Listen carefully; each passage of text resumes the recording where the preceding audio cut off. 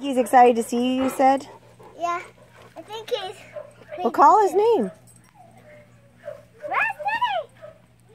Are you crazy? I think he is crazy. You think he's crazy? Yeah. it's too bad that he doesn't like kids. yeah. It's a real shame. That Rusty likes kids. You think? Yeah, oh, okay. Say bye.